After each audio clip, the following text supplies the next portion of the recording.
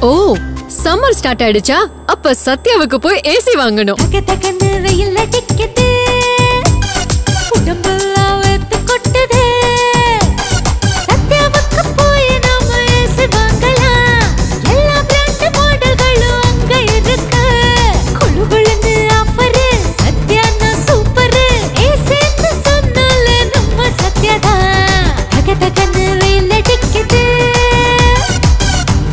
உங்கள் சத்யாவில் இப்போது ஏசி வாங்கும்போது ரூபாய் ஆறாயிரம் மதிப்புள்ள கிளாசியான நான்கு சேர்கள் ஃப்ரீ